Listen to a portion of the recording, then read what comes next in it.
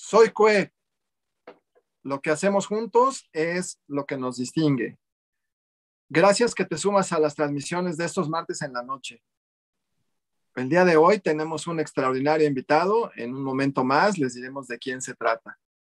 Me acompañan en la conducción esta noche la maestra Alejandra Macías Estrella. Y también me acompaña en la conducción la maestra Nayeli Plata Navarrete. Naye, ¿nos podrías decir quién es nuestro invitado de esta noche? Maestro, noches, claro que sí. Primero que nada, muchas gracias por la invitación para acompañarlos en la conducción. Realmente es un gran honor para mí. Muchas gracias a ustedes, al CUEG. Eh, pues vamos a empezar.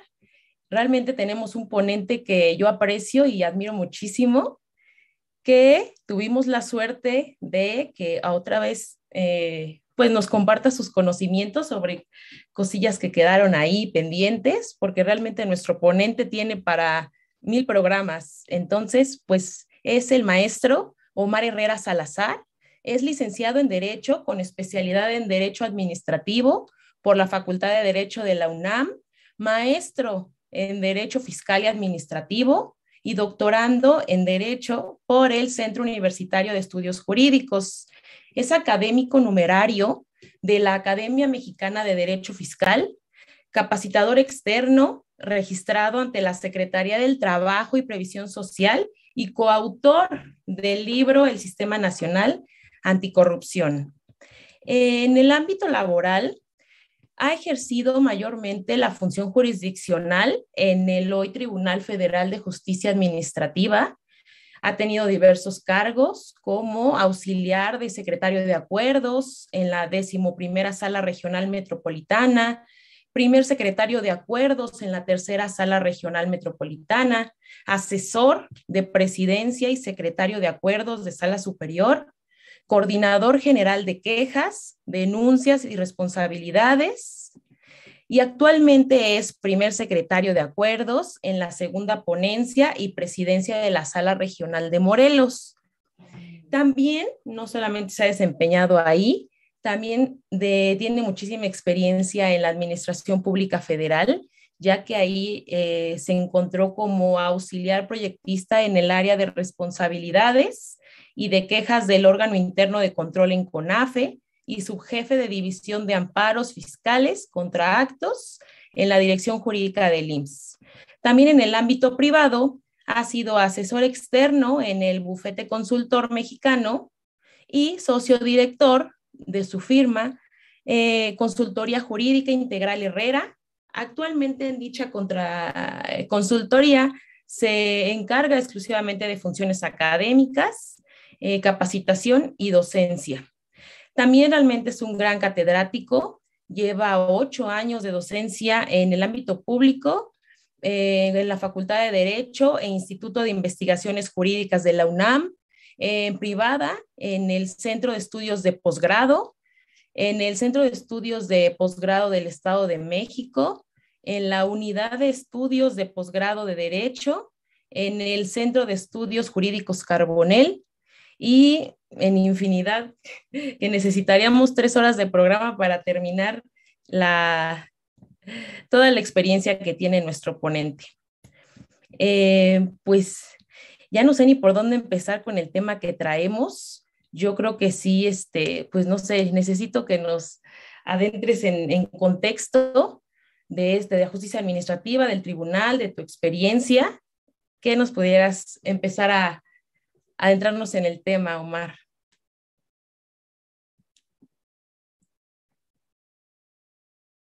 Claro que sí, muy buenas noches. Eh, muchas gracias, Naye, muchas gracias, Vicente, Ale, por la invitación nuevamente a estar con ustedes. Eh, hace ocho días platicamos muy a gusto sobre un tema relacionado con la justicia administrativa, que era la contratación pública, pero pues hoy eh, quisiera exponerles otro tema que también es de actualidad en, tratándose de la justicia administrativa. Y bueno, como decíamos hace ocho días y respondiendo a la pregunta de la justicia, lo que es la justicia administrativa, pues decíamos que podemos considerarla como la expresión del derecho humano a la tutela jurisdiccional en la materia administrativa, en donde los gobernados, los particulares, van a acceder a un órgano jurisdiccional, ¿sí? para controvertir aquellos actos que un ente estatal, una autoridad administrativa, siempre recordando en un plano de suprasubordinación, ¿sí? emiten en su perjuicio y que pues les van a impactar en su esfera de derechos y obligaciones. Pueden desde imponer obligaciones como restringir, eliminar, limitar o negar la existencia y reconocimiento de derechos de los particulares. Entonces, esta, esta parte que hoy vamos a tocar en el tema, pues va a ser relacionado precisamente con la aplicación de un principio constitucional, un principio derivado de la Constitución, la tipicidad, en lo que es esta relación ya eh, contenciosa administrativa de la contienda del particular con el, eh, eh, el Estado, derivado de ciertas materias o ciertos asuntos inherentes a una parte que se conoce como el derecho administrativo sancionador. Qué interesante esto que nos comenta Omar en relación a la justicia administrativa. Eh, sabemos precisamente que esta gran rama del derecho, pues también tiene muchas divisiones. Y ya que nuestro tema a tratar se llama la tipicidad de la justicia administrativa, me gustaría preguntarte, ¿qué es el derecho administrativo sancionado? ¿A qué nos referimos cuando hablamos de este tema? Claro, pues el derecho administrativo sancionador es una rama, como bien dice Sales, del, del derecho, que va a ser una expresión punitiva del Estado. Hay que recordar que en la constitución política de Estados Unidos mexicanos no solamente se prevén derechos como los derechos humanos, también se prevén obligaciones y se prevé un régimen o un Estado que va a vincular a estos dos grandes entes o elementos del Estado, el pueblo y las autoridades o el Estado mismo. En ese sentido, el Estado va a tener algo que se van a llamar facultades punitivas, capacidad de sancionar pero no es la capacidad de sancionar porque se le dé la gana, no es la capacidad de sancionar porque quiera, por reprimir eh, eh, expresiones, no. Las facultades punitivas son sanciones que son consecuencia de la comisión de conductas por acción o omisión en muchas materias que pueden existir, ¿sí? Previstas en una ley y que son contrarias al orden público y al interés general. Me, me, me voy a permitir para, para, para abundar un poquito más en esta pregunta. ¿sí? Lo que es el derecho administrativo sancionador, eh, la Suprema Corte de Justicia, ¿sí? Ha hablado de lo que es en la jurisprudencia 99 de 2006 del Pleno, así como en la jurisprudencia 124 de 2018 de la segunda sala, de lo que es la expresión de este derecho administrativo sancionador. Y este derecho administrativo lo que va a tener como elementos van a ser los siguientes. Primero, que se trata de procedimientos que van a derivar en la imposición de una pena o sanción. Y segundo, que es como una manifestación precisamente de esta potestad punitiva del Estado. Potestad que va a ser en el ámbito de suprasubordinación.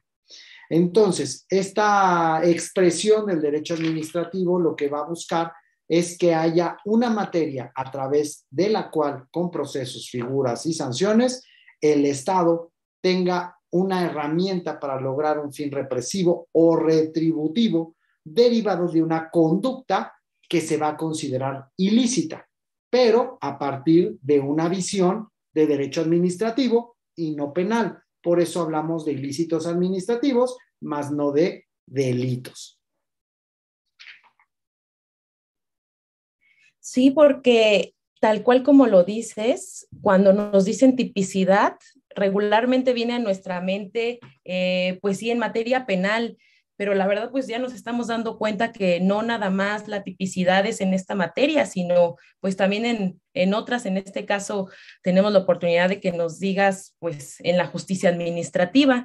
Entonces pues se regula, tiene más o menos cómo se regula, eh, tiene principios, eh, en, en qué marco, no sé, ¿qué principios de fondo y forma contiene esta rama del derecho que nos dices?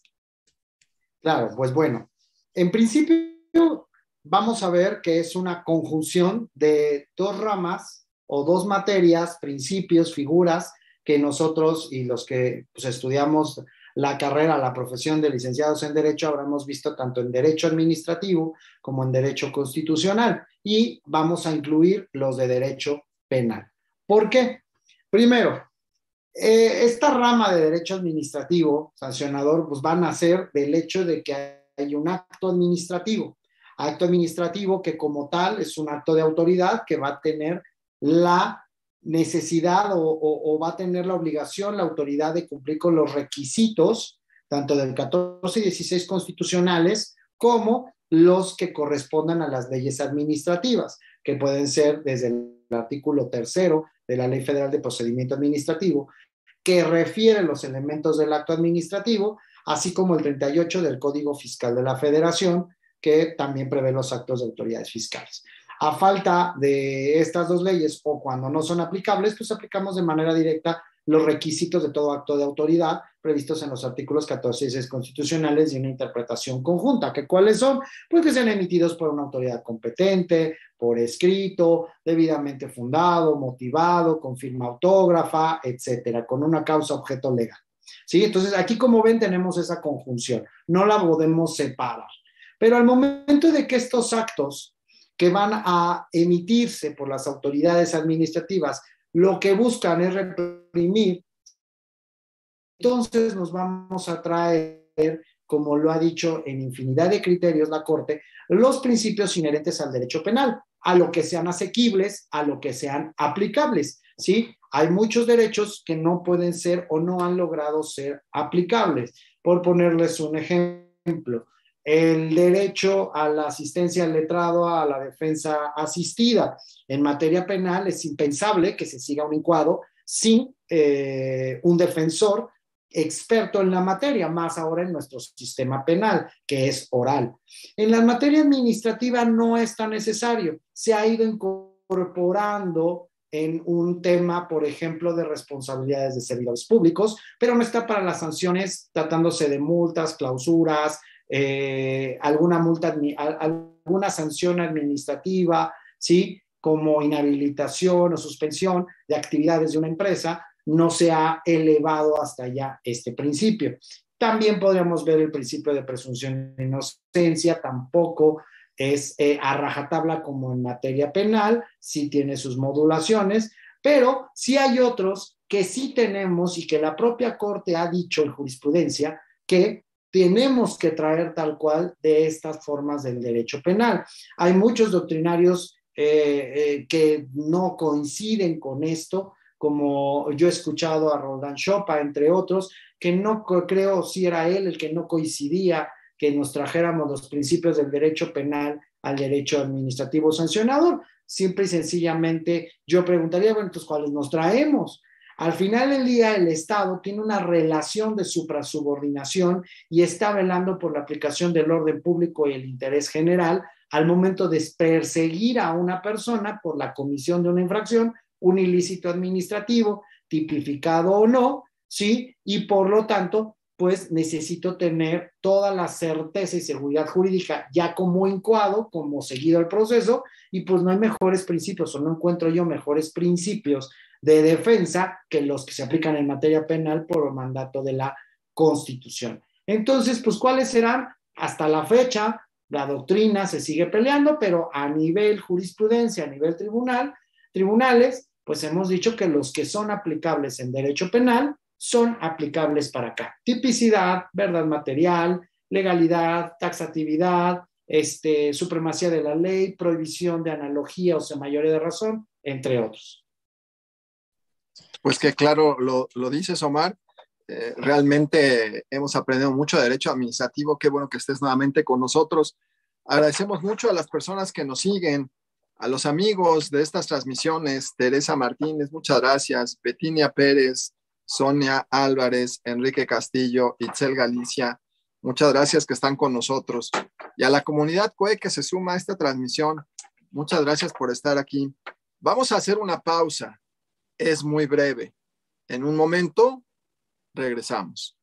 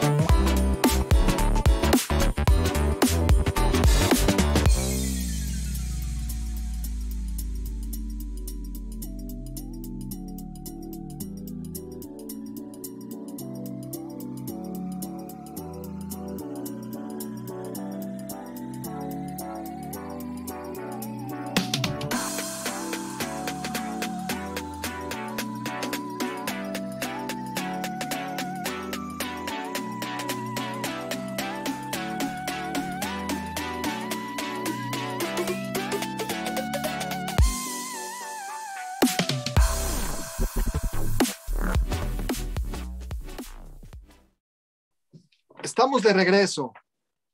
Muchas gracias que te sumas a la transmisión. Si lo haces en este momento, te informamos que estamos platicando con un extraordinario invitado, el maestro Omar Herrera Salazar, quien esta noche propone al foro el tema la tipicidad en la justicia administrativa. Pues vamos a continuar haciéndole preguntas, mi querida amiga. Muchas, muchas preguntas.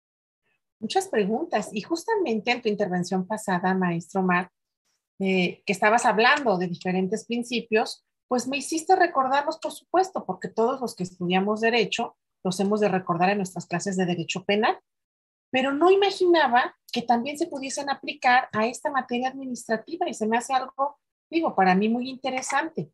Eh, entonces, sí me gustaría preguntarte en qué tipo de asuntos administrativos, por supuesto, nosotros podemos aplicar estos principios. Claro, Ale, pues mira, eh, en la justicia administrativa, al menos por lo que eh, eh, hace al juicio contencioso administrativo y remitiéndonos a los artículos tercero y cuarto de la ley orgánica del tribunal que prevé una vasta materia, una infinidad de materias en las cuales es competente, pues te puedo decir que esta es como la primer pista para encontrar qué tipo de asuntos, ¿sí? Por ejemplo, podemos hablar de cuando decimos eh, resoluciones emitidas por el Servicio de Administración Tributaria. Pues una contribución no lo es si hablamos de impuestos, si hablamos de cuotas de seguridad social por parte del IMSS, ¿sí? Pero sí vamos a encontrar que estos principios sí se van a aplicar cuando estos organismos fiscales imponen sanciones, como son las multas. Ya las multas, aunque sean de naturaleza fiscal, ¿sí? no deja de ser un acto sancionatorio como consecuencia de una conducta del contribuyente infractor a la ley por un hacer o un no hacer. Derivado de ello, ahí ya entramos a la mezcla entre el derecho fiscal y el derecho administrativo sancionador. Podemos ver además en normas administrativas federales, pues el sinfín de materias que tú quieras de toda la administración pública, propiedad intelectual, medio ambiente, consumo, actividades financieras del Estado, eh, revisiones administrativas o más bien laborales de la Secretaría de Trabajo y Previsión Social, regímenes paradisciplinarios que no son disciplinarios por completo, por eso son paradisciplinarios, o es un término que hemos venido acuñando, pero bueno, yo no lo he visto en un libro. Pero ¿cuáles son? Por ejemplo, estos regímenes en la Ley Federal del Trabajo, donde sancionas a un trabajador por las faltas que pueda cometer. Ahí podemos encontrarlo en régimen de responsabilidades administrativas de los servidores públicos, hoy bajo el Sistema Nacional Anticorrupción, que es donde más se está eh, aplicando esta,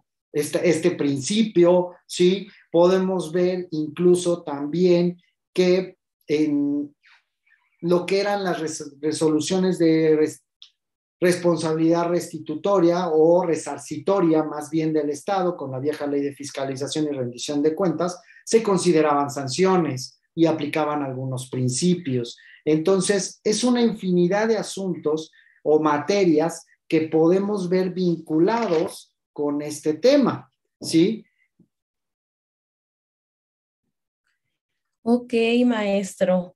No, pues sí, ya que nos dice todos estos asuntos, la verdad sí, sí suena muy complejo y qué bueno que nos está dando estos conocimientos que comparte con nosotros.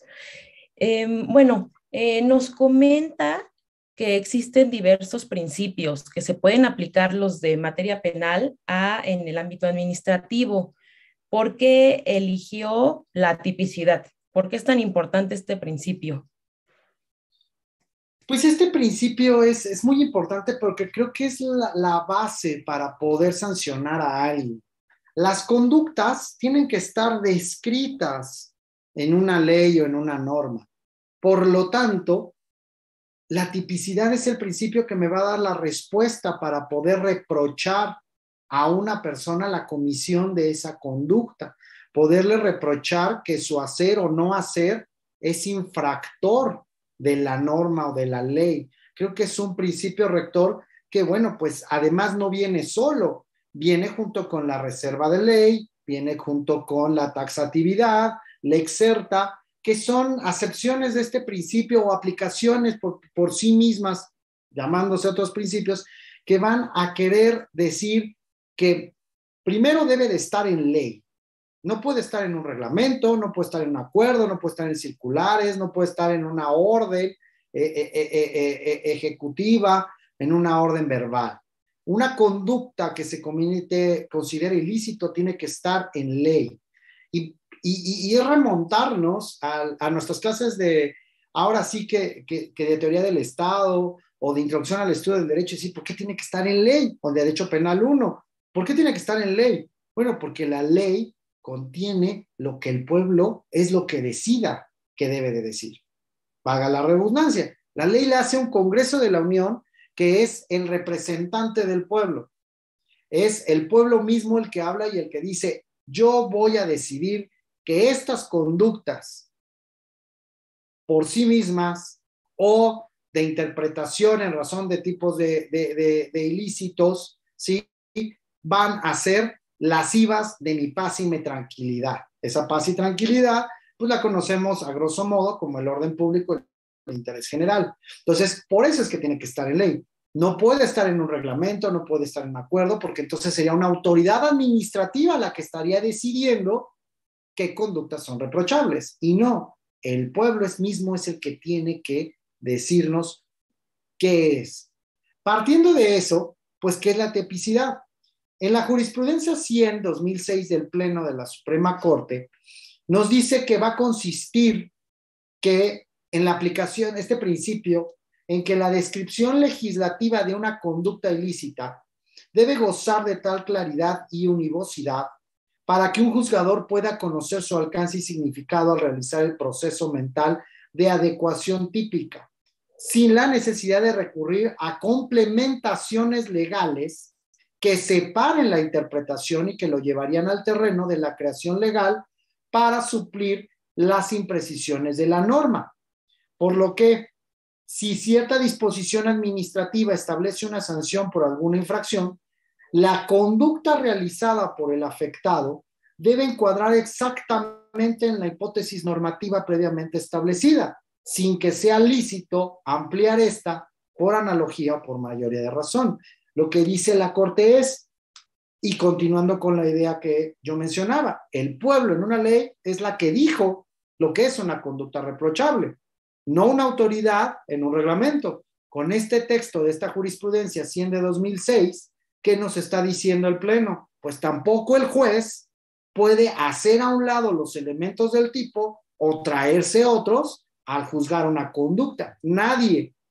El tipo es uno solo y si no se colma en su totalidad, este no puede ser ampliado, reinterpretado, no puede ser eh, literal, no puede ser incluido, disminuido, no puede ser manipulado. Por eso creo que la tipicidad es tan importante, porque es una aplicación estricta de la ley, que a lo mejor puede traernos algunos otros problemas, ¿sí? Como son a veces la impunidad, pero la tipicidad por sí misma, creo yo, nos va a dar a todos seguridad y certeza jurídica.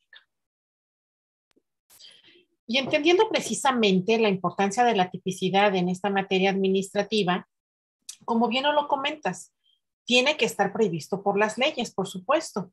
Pero eh, me gustaría ah, que nos hablaras un poquito más, ¿qué es lo que nos dicen nuestros tribunales o qué criterios nos dan los tribunales para poder nosotros eh, respetar este principio de tipicidad que se me hace eh, que no todos están de acuerdo con este o que no todos conocen este principio?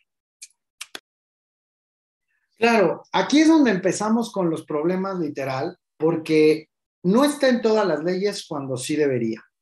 Eh, yo en lo particular y por la especialización que he tenido desde hace unos pues cinco años a la fecha en la materia de derecho administrativo sancionador, sobre todo en la parte de derecho disciplinario y gracias a la o bajo a la influencia de grandes eh, eh, maestros y amigos como son el magistrado Manuel Lucero Espinosa, Luis Humberto Delgadillo Gutiérrez, eh, Jorge Alberto Estrada, eh, eh, Estrada Cuevas, entre otros.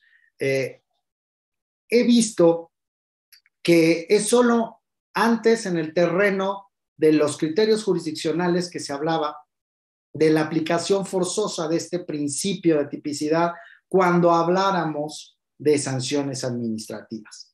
Sin embargo, como yo decía, por el Sistema Nacional Anticorrupción, eh, este principio se vuelve predominante. Si hoy vamos a la reforma en la Constitución del 27 de mayo de 2015, que posteriormente en junio, julio, perdón, de 2016 dio nacimiento a la Ley Orgánica del Tribunal Federal de Justicia Administrativa, así como a la Ley General de Responsabilidades, que la primera entró en vigor al día siguiente, el 16 de junio, 18 de junio de 2016, y la otra entró hasta el año siguiente, en junio de 2017, vamos a ver que en su contenido sí ya prevé como obligatoria la observancia de este principio. Este principio de tipicidad ya se mandata para el Tribunal Federal de Justicia Administrativa en su cuarto párrafo del artículo primero de su ley orgánica. Lo que entonces, ¿qué me va a llevar? Pues que no solamente las materias que hace rato te platicaba Ale, Vamos a verlo. Si se acomoda en alguna otra, lo tienes que aplicar porque tu ley orgánica ya lo prevé, ya no es una interpretación. En la materia de derecho administrativo sancionador, pero en la parte de derecho disciplinario, el sistema nacional, lo que es anticorrupción, lo que es las responsabilidades eh, eh, administrativas de los servidores públicos, allí es donde nos peleamos, ¿sí? Y ahí es donde, donde vamos a encontrar que todavía no hay afinidad. De hecho, hay criterios que hemos encontrado discordantes. Eh, por ejemplo, hemos visto sentencias en donde la, por ejemplo, en la ponencia en la que estoy adscrito, afortunadamente, eh, la magistrada ponente, la magistrada titular de la ponencia, mi jefa, eh, la magistrada Elizabeth Ortiz Guzmán, eh, tiene un criterio bastante amplio, crítico y coincide con el mío en esta materia. Y, por ejemplo, nosotros coincidimos en que el tipo de cualquier ilícito administrativo, pues nosotros no somos quien, porque como lo dijo la Corte, ni el juzgador mismo puede, quitarlo, eh, mutilarlo, interpretarlo, hacer como que unas palabras no existen y otras sí, ¿sí? Y pues hemos, hemos tratado de resolver en congruencia con esto. Sin embargo, hemos encontrado otros criterios con los que no coincidimos, en donde señalan que, bueno, pues el tipo a veces está construido de tal manera que pues es imposible eh, colmarlo todo por una falla o deficiencia o pésima redacción que hizo el legislador. Y bajo esa hipótesis hemos encontrado que nos han dicho que, bueno, que cuando esto pasa, eh, debemos considerar que el precepto normativo no se puede interpretar de manera literal, sino que solo la parte que se aplique en el caso que se está eh, juzgando, pero bueno, que le están imputando a una persona como presunto infractor y que en caso de que se den los otros elementos, pues ya surten o nacen a la vida los elementos faltantes y ahí sí te los aplico a mí se me hace una equivocación porque es precisamente hacer algo que la Corte dijo, ¿sí? Integrarlo. Al momento de que me está diciendo la Corte, no puedes aplicarlo por mayoría de razón o analogía, pues también debemos entender que no puedo cortarlo, no puedo decir esto sí, esto no, o es un todo o es un nada. En materias de derecho penal incluso nos enseñan lo que es la tipicidad, o sea, la conducta existe, pero no es reprochable, no es punible porque no agota los elementos del, tipo, ¿sí? Entonces, el problema es ese, todavía estamos construyendo bajo eh, eh, varias ideas cómo es que vamos a aplicar plenamente la tipicidad en, en, muchas materias. Insisto, aquí como decía, ¿se prevén leyes? Sí, sí se prevén leyes, no todas, pero bueno, algunas eh, sustantivas, como la ley orgánica del tribunal, algunas adjetivas, como la Ley General de Responsabilidades Administrativas, lo podemos derivar de sus artículos. ¿Y qué han dicho los tribunales respecto a este principio? Pues seguimos en la pugna. Yo voto por las voces de muchas tesis que nos dicen que pues lo que no está completamente adecuado al tipo, pues está en el mundo jurídico existe, pero ya no es reprochado y sancionado y encontramos otros criterios donde dicen, no, espérate, pues es que como no es derecho penal, sino derecho administrativo sancionador, sí cabe cierta flexibilidad y entonces nomás voy a agarrar este cachito y el otro, pues si se actualiza, sin nada. Y pues yo digo, bueno, al final del día todos somos operadores jurídicos, pero cuando estamos en la función jurisdiccional, creo que también debemos ceñirnos a que pues, solamente podemos, eh, eh, donde la ley no distingue, no debemos distinguir, donde los principios no distinguen, tampoco podemos distinguir e inventar unos nuevos. Creo que la tipicidad es muy cerrada, es muy abierta, a veces ayudará, a veces perjudicará, pero así hay que analizarla. Pues eh, muy claro, Omar. La verdad es que lo dicen las, las personas que nos siguen, ya hay muchas preguntas. Agradecemos a los amigos que se suman a esta transmisión, Martín Benítez, David Altamirano, Diego Eduardo Hernández, Dolores Urrieta, Julia Hernández. Gracias por vernos. Gracias por seguirnos estos martes en la noche. Damos gracias también a la comunidad CUE que se suma a la transmisión, la maestra Telma Merino. Muchas gracias, amiga. Al doctor Miguel Ángel Granados, muchas gracias por seguirnos también todos los martes, fieles aquí a las transmisiones de estos martes en la noche. Vamos a hacer una pausa. Es muy breve. En un momento, regresamos. Continúa creciendo con nosotros con nuestros diplomados 100% en línea. Únete a los más de 2.000 alumnos que han continuado preparándose profesionalmente con nuestros diplomados en línea. Aprende en tus ratos libres en una plataforma abierta las 24 horas del día y no permitas que nada te detenga. Inscríbete ahora a uno de nuestros diplomados. Soy Cue.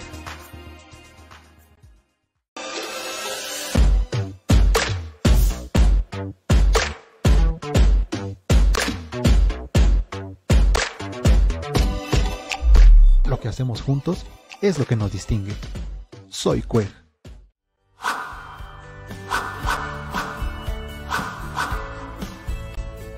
Gracias por tu preferencia. Te invitamos a seguir capacitándote con nuestros diplomados en línea. lo que hacemos juntos es lo que nos distingue.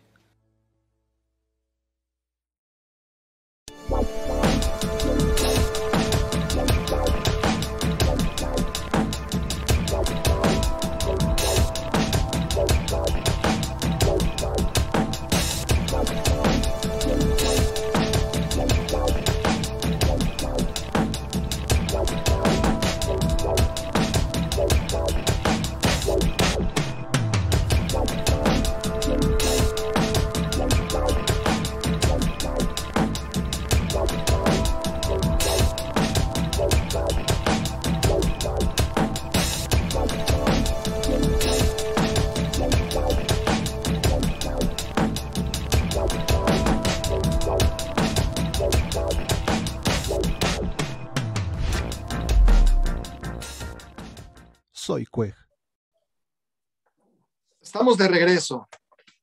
Muchas gracias si te sumas a la transmisión en este momento.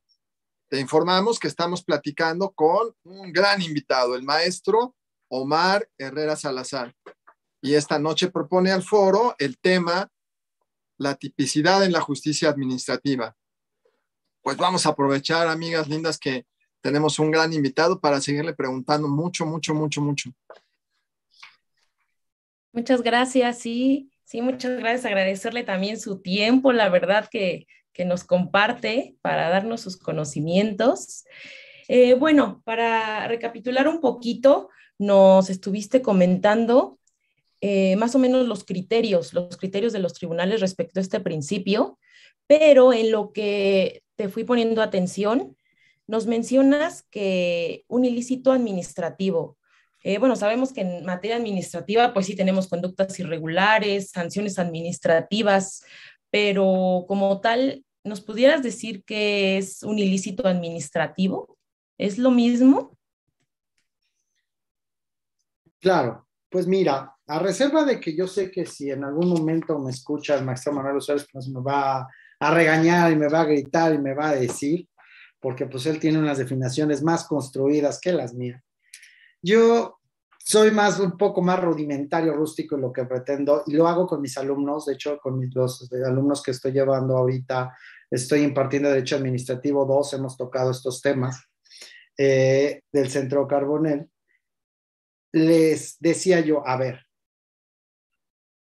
desde que somos chiquitos, nos inculcan que tenemos derechos y obligaciones. Los derechos nos los tenemos que ganar para que nos den un dulce. Las obligaciones las tenemos que cumplir a fuerzas, aunque no hagamos nada. ¿Sí? Bueno, como les digo a mis alumnos, pues vamos a entender dos tipos de ilícitos, que van a ser estas conductas previstas en la ley para tenerlas como presupuesto de que su comisión, por acción o omisión, hacer o no hacer, se consideren un ilícito administrativo, una infracción a la norma, ¿sí? Una conducta violatoria de la norma. Sería como una acepción del ilícito administrativo, algo que cometemos hacer o no hacer, ¿sí? Contrario a lo que dice la norma, contrario a lo que dice o cometiendo lo que dice la ley, pero esta lo tipifica como una infracción. Ese es un ilícito. Ahora bien, vamos a tener dos tipos de ilícitos a grosso modo. Yo los veo así. Primero, unos que van a ser en blanco. Yo sé que están prohibidos, sí.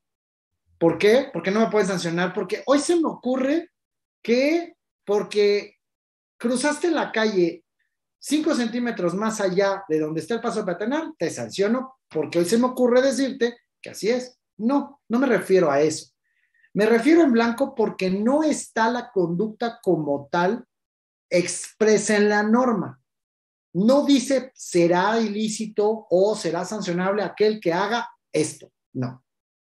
Es, retomando el comentario inicial, es cuando la obligación que tenemos o el derecho que tenemos no lo ejercemos correctamente o nos pasamos de listos. Y entonces cuando la ley dice, será obligación de todos los responsables de un centro de tratamiento de aguas el no descargar aguas negras o permitir que se viertan aguas negras en ese centro de tratamiento. No está diciendo absolutamente nada de que lo va a sancionar al operador, pero está diciendo ahí un derecho o una obligación. Y después vamos a encontrar otro artículo que diga, todo aquel que incumpla las obligaciones previstas en esta ley se hará acreedor a una multa, al arresto, a esto. Esos son los que yo considero como tipos en blanco, porque es una construcción a partir de derechos y obligaciones que tenemos en la ley, con otra regla que dice quien incumpla, violente, infraccione esos derechos y obligaciones, se hará acreedor a una sanción. Entonces, estos dos numerales van a ser el tipo, ¿sí? O el ilícito administrativo y será la autoridad que corresponda crear el ilícito ya materialmente al, infractor, aterrizarlo a su situación jurídica concreta, porque la ley es genérica, no dice Alejandra, que tiene un centro de tratamiento, será sancionada si permite, no, pues dice, a, que, a todo aquel que tenga esta obligación, si la incumple, será sancionado. Todo aquel que sea esto, tiene la obligación de hacer X. Entonces, la autoridad que corresponda va a decir, ah, bueno, pues Alejandra tiene su propio centro de tratamiento. Alejandra tenía la obligación de no permitir que trataran en el centro de tratamiento de aguas, virtieran aguas negras o virtieran algún químico. En razón de eso, como advertimos, investigamos que ella tenía esa obligación, pero la incumplió porque sí lo permitió, se hace acreedor a la sanción. ¿Cuál es el ilícito administrativo? El que está en ley. ¿Cuál es el tipo? La prohibición. Ella no cumplió con la prohibición de la obligación de no permitir ese maltrato o mal manejo. Sí, estoy siendo muy burdo, pero es, ese es el tipo del ilícito. Y el otro tipo es el tipo completamente cerrado, que es creado por el legislador de manera directa. Ahí no hay una obligación genérica y abstracta en cuanto a una persona, sí, pero en cuanto a un quehacer, no. Es un elemento que está completamente cerrado. Miren, por ejemplo, y, este caso es el que se ve más en derecho disciplinario. En el artículo 49, fracción primera de la Ley General de Responsabilidades Administrativas, que es aplicable para los servidores públicos, se prevé un ilícito administrativo no grave. ¿Sí?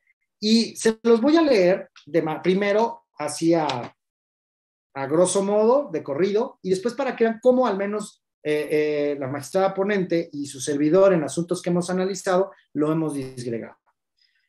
Dice, incurrirá en falta administrativa no grave el servidor público cuyos actos o omisiones incumplen o transgredan lo contenido en las obligaciones siguientes. En primera, la tipicidad se hace presente cuando dice, pues en estas, en las obligaciones, no en parte, en lo que tú quieras, en el cachito que quieras acomodar, no, en estas. Fracción primera. Cumplir con las funciones, atribuciones y comisiones encomendadas, observando en su desempeño disciplina y respeto, tanto a los demás servidores públicos como a los particulares con los que llegaré a tratar, en los términos que se establezcan en el Código de Ética a que se refiere el artículo 16 de esta ley. Fíjense todos los elementos que tiene. Si yo lo disgrego, yo les diría, primer elemento del tipo, verbo recto, que no se cumple. Punto. No cumplir la obligación. Tengo que acreditar un incumplimiento. Segundo elemento dividido a la vez en tres. ¿Con qué? Funciones, atribuciones y comisiones encomendadas. No dice funciones, atribuciones o comisiones encomendadas. Es y. Entonces, tengo que ver que el incumplimiento es sobre una función, una atribución y una comisión encomendada. ¿Sí? Tercer elemento, que se observe en ese desempeño, inciso A de este tercer elemento, disciplina, inciso B, respeto. No disciplina o respeto, sino irrespeto. Cuarto elemento, en una relación tanto A, servidores públicos, B, con particulares, aquí sí es optativa porque dice, con los que llegare a tratar. Llegare, si no hay en esta relación, pues no, no es necesario el tema de particulares, pero a lo mejor servidores públicos. Pero también luego cierra el tipo diciendo que todo ello sea en términos del código de ética. Entonces, imagínense todo lo que tenemos que construir. En la práctica, los órganos internos de control, los incisos tres, cuatro y todo lo demás, hacen como que las Virgen le habla y no los pelan. Y las faltas, los ilícitos, nada más los, los, los, los actualizan y los pretenden tipificar con los primeros dos. Derivado de eso, es decir, pues no hay tipicidad. Y fíjense que esto es muy importante, porque hay una tesis, es aislada desafortunadamente, pero es de un tribunal colegiado en el primer circuito al que yo respeto demasiado por sus integrantes, el magistrado Jesús Antonio Nazar Sevilla y sobre todo al magistrado que lo conozco y bueno, no puedo decir que sea muy mi amigo, pero sí lo conozco y le tengo mucho respeto, Jean-Claude Trompetit, sí, el cuarto tribunal colegiado en materia administrativa del primer circuito.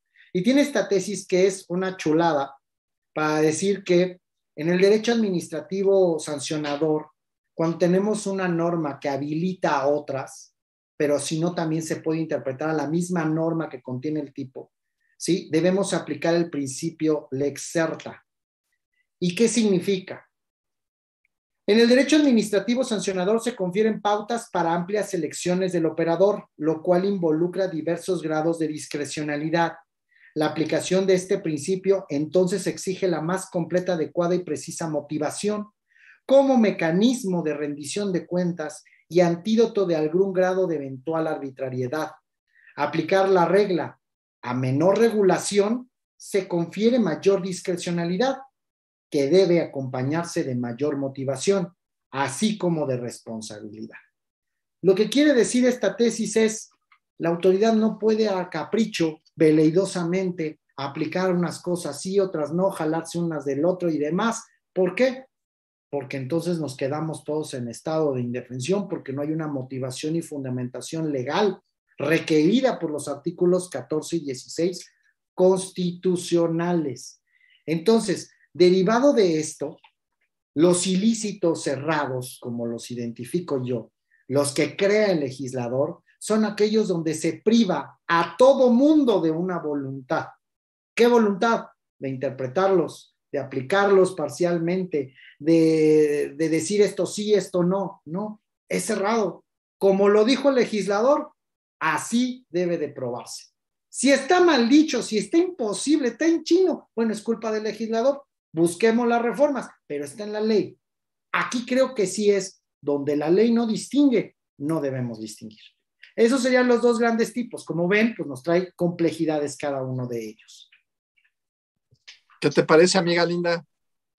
No, bueno, estoy, estoy impactada la claridad y el gran panorama que nos ha abierto nuestro ponente, nuestro gran invitado el día de hoy, y sobre todo también entender la exacta aplicación que nosotros tenemos que dar a las leyes una sola letra puede cambiar el sentido por completo de esta administración de justicia. Y con estos criterios que nos estás explicando en forma tan clara, bueno, creo que a todos nos ha quedado, mucho más claro el tema que nos estás exponiendo hoy, maestro. Pero aprovechándote, me gustaría preguntarte que a tu parecer, ¿qué opinas? ¿Existen diferencias en leyes, autoridades, criterios para la exacta observancia de este principio? ¿Tú qué opinas, Omar? Pues sí, ya hablando realmente en concreto y, creo que derivado de, esta plática, eh, existe deficiencia porque eh, no, no tenemos, y creo que no creo que se pueda tampoco, que en la constitución o en una ley, aunque sí las haya, decía yo, la ley orgánica del Tribunal, la ley general de responsabilidades administrativas, se prevea la aplicación forzosa. En el derecho penal sí está, y creo que ahí partiría el problema. El derecho penal se considera lo más gravoso en nuestro sistema jurídico de sanciones porque es la pena privativa de la libertad. Pero debemos abrir un poco el panorama y, conocer la interrelación de materias. Me, quiero permitir hacer un comentario a lo mejor para entender esto. Eh, existe un principio que nos enseñan en la carrera que se llama el non bis in idem nadie puede ser juzgado dos veces por los mismos hechos, ¿sí? Hemos visto películas de, americanas de juicios sobre eso, eh, nos los enseñan y nos dicen, bueno, es que no puede ser eh, juzgado dos veces por el mismo delito. Pero entenderlo en la práctica y allende las fronteras del derecho penal nos lleva a lo que les dije, creo que fue este sábado pasado en clase a mis alumnos. Eso no es cierto. sí se puede. Y lo peor es, en México se hace. Te pueden juzgar muchas veces por los mismos hechos. El artículo 109 constitucional lo que dice es que no te pueden sancionar aplicando sanciones de la misma naturaleza por los mismos hechos. Y es ahí donde voy. Hoy en día tenemos casos de servidores públicos, por ejemplo, donde voy a tener responsabilidad laboral, responsabilidad administrativa y responsabilidad por los mismos hechos. En la laboral me van a cesar, terminar la relación laboral. En la administrativa me van a inhabilitar para ejercer el servicio público. ¿Sí? Y en la penal me pueden privar de la libertad cualquiera de los tres, bueno, no laboral no tanto, pero lo administrativo y el penal, sí me van a poder imponer una multa. Multa que tiene un espíritu retributivo, reparatorio de lo que cometí. Entonces, me están aplicando también sanciones de la misma naturaleza por los mismos hechos. Esto sí está permitido y convalidado en nuestro sistema jurídico. La Constitución lo dice.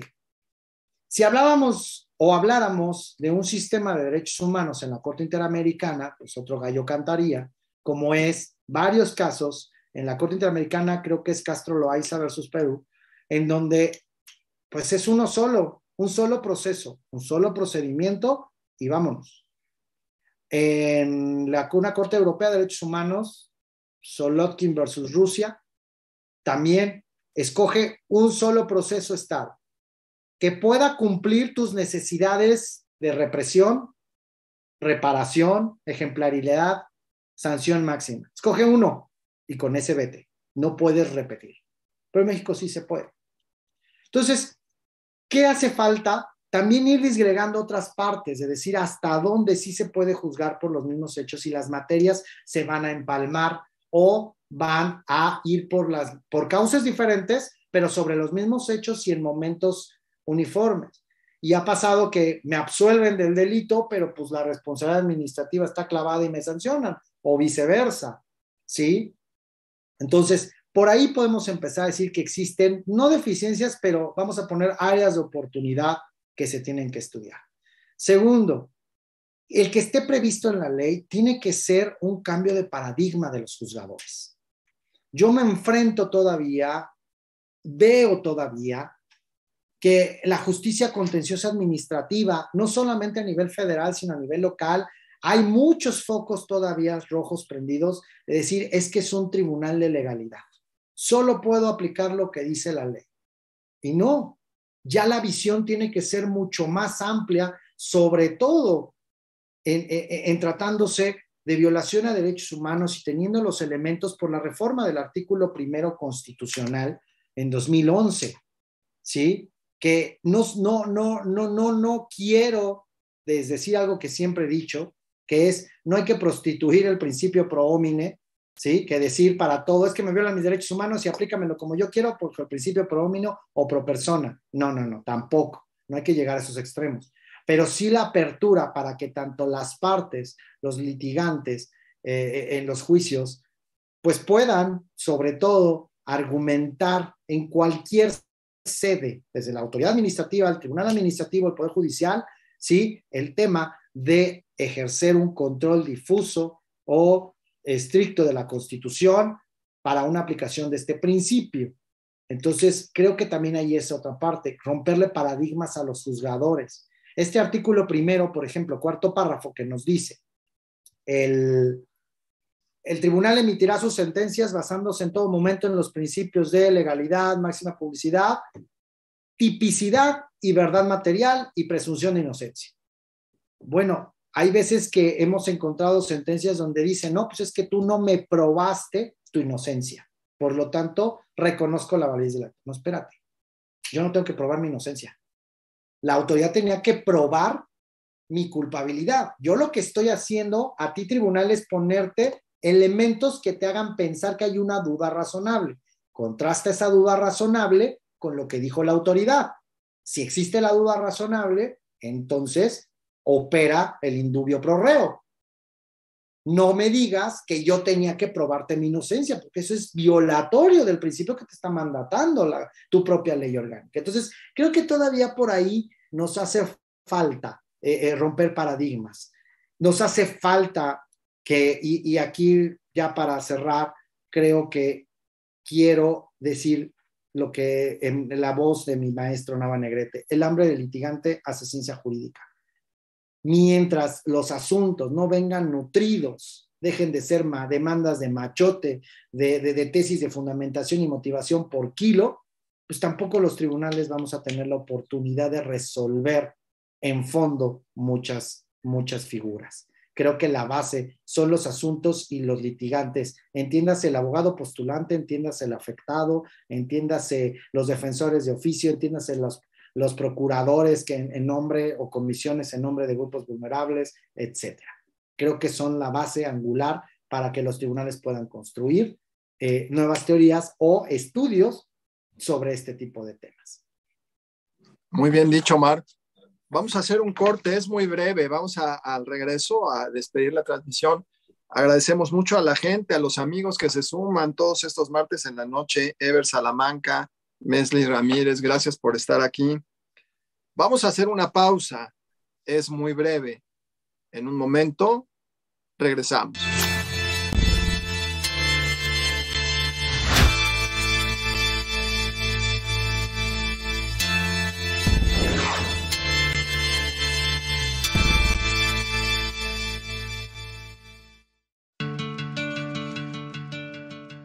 Soy Carlos Verduzco y soy el vicerrector del Centro Universitario de Estudios Jurídicos.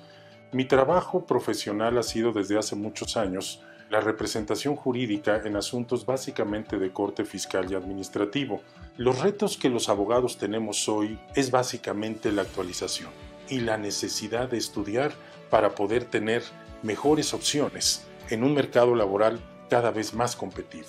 La maestría no es tener un grado académico, es un compromiso también con la comunidad. La licenciatura nos preparó para trabajar, pero la maestría nos prepara para enseñar. ¿Por qué estudiar en el CUEG?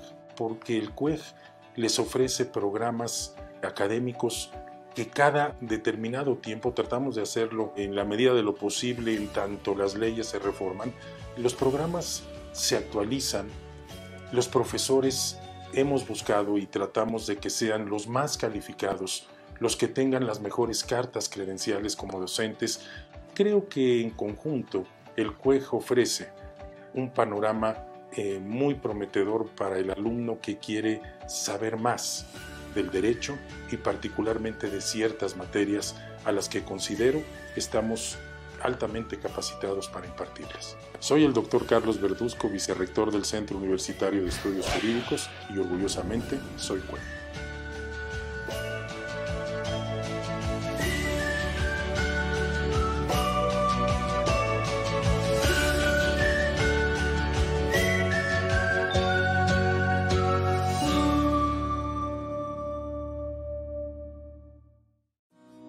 Momento de tirar la toalla.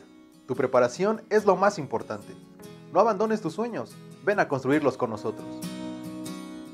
Lo que hacemos juntos es lo que nos distingue.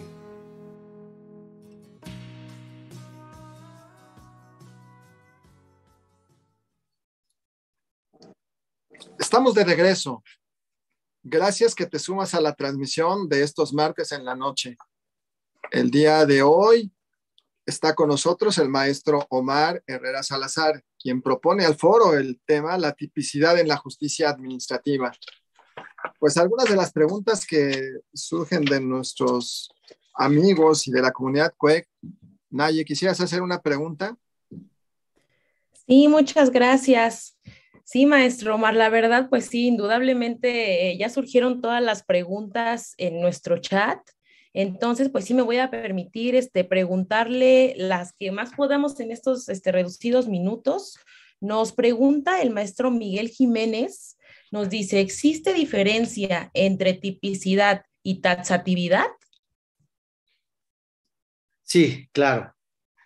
Bueno, en, en, el análisis que se hace a nivel jurisdiccional, yo lo que he encontrado es que sí existe diferencia, porque la taxatividad es un principio que lo vamos a ver reflejado como una obligación del legislador, mientras que la tipicidad es la obligación reflejada para la autoridad administrativa que va a sancionar. ¿Por qué? Porque la taxatividad es la necesidad de que el ilícito creado por este, por el legislador, ¿sí? sea lo más preciso posible. Eh, hay una definición que se puede encontrar hacia a, primera mano que dio, eh, se dio en el amparo directo en revisión 3040-2016, donde el poder, la Suprema Corte dijo que la taxitividad es la exigencia de que el texto en los que se recoge una norma sancionadora describa con suficiente precisión qué conducta está prohibida y qué sanción se impondrá a quien incurra de ella. Entonces, la taxatividad es el antecedente de la tipicidad porque es la construcción del legislador de lo que es el ilícito administrativo, que ya lo decíamos nosotros en la jurisprudencia, si mal no recuerdo, la 100 de la, del Pleno de la Corte, ¿sí? que nos dice que la descripción legislativa de la para que se conozca su alcance. Eso es la taxatividad. La mala redacción de varios artículos puede hacer que no haya una completa o correcta taxatividad. A lo mejor yo diría posible taxatividad.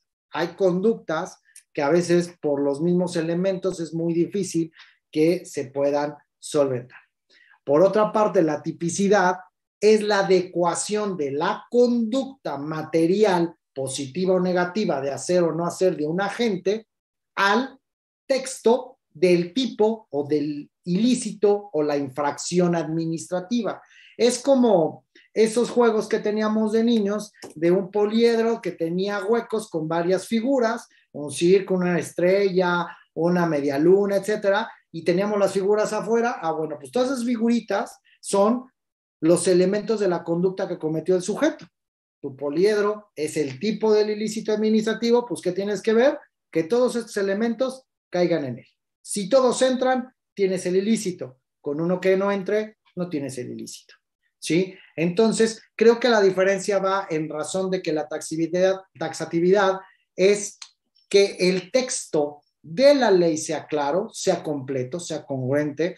No voy a decir que sea posible, porque también eso sería un debate de decir, a lo mejor lo que hoy es ilícito administrativo no lo fue hace 20 años, y lo que hoy no es, a lo mejor será en 50 años, ¿sí? Entonces, no lo sabemos, no, no me voy a meter en cuanto sea posible, pero creo que esa es la diferencia. La taxatividad es un antecedente, la tipicidad es en la aplicación propia por parte de la autoridad administrativa. Y tan es así que por eso para el juzgador está reservado, conforme al cuarto párrafo, artículo primero de la ley orgánica del tribunal, al juzgador aplicar la tipicidad. Sin duda que ha sido muy aleccionador. Parece que en dos sesiones tomamos un curso de Derecho Administrativo 1 y Derecho Administrativo 2, el ABC del Derecho Administrativo. Muchas gracias por haber estado con nosotros. Para despedir la transmisión, mi querida amiga Ale, ¿quisieras decir algunas palabras? Y con todo gusto. Agradecer a todos aquellos que cada martes nos honran con su presencia. Que se haga una bonita costumbre. Nos vemos aquí el próximo martes, misma hora, eh, Facebook, por supuesto, y agradecer una vez más a nuestro gran invitado, un consentido ya de estas transmisiones del cuerpo. Muchísimas gracias, maestro Mark. Sin duda alguna, como lo dice el maestro Vicente, salimos enriquecidos y cada vez entendiendo más este derecho administrativo, cada vez aprendiendo más contigo y eh, tú tan generosamente que nos regalas estos minutos. Nos vemos la próxima semana. Buenas noches. Agradecer que esta noche estuvo también con nosotros en la conducción a la maestra Nayeli Plata Navarrete. Naye, ¿quieres decir algunas palabras para despedir la transmisión? Sí, muchas gracias, maestros. Eh, muy contenta. Ojalá que hay que convencer a Omar para que venga nuevamente a ilustrarnos con tantos conocimientos. También no sé si nos quiera, le quiera mandar saludos a alguien, nuestro maestro, ya que habló de, de, de tantas personas pues tan importantes en su trabajo. Sí, claro, ya nada más para cerrar, este, muchas gracias. Pues gracias a todos los que nos siguieron, a, mis alumnos, eh, amigos, compañeros como del doctorado, como la maestra Marisela Félix, como el maestro Miguel Jiménez, con quien he debatido muchos temas, este, tenido clases, etcétera. A, gente como la licenciada Betinia, la licenciada María Dolores Urrieta, que, bueno, me conoció mucho más chico, fue una gran jefa mía, aunque sea profesional. Este, muchas gracias a todos los que, los que han seguido estas transmisiones y, a ustedes sobre todo y al CUEG por permitirme compartir con ustedes. Ha sido, ha sido muy aleccionador, muy educativo. Muchas gracias. El día de hoy estuvo con nosotros el maestro Omar Herrera Salazar, quien propuso el tema al foro, la tipicidad en la justicia administrativa. Soy CUEG. Lo que hacemos juntos es lo que nos distingue. Buenas noches.